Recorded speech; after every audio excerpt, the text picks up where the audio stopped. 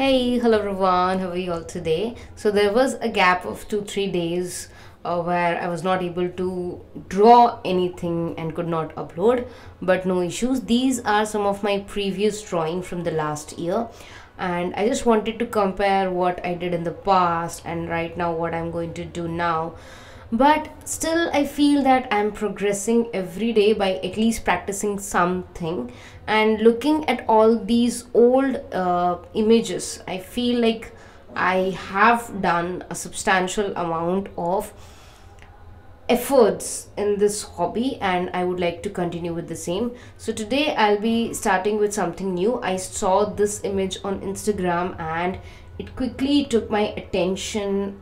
I was so you can say it was it was really beautiful and i wanted to create the exact same replica i must say as a spoiler alert it was not exact same as i was expecting it to be but it turned out a great usage of my time because after making this i was really happy with myself apart from that i was also uh, curious like how much more can I do with this particular technique as I'm trying today.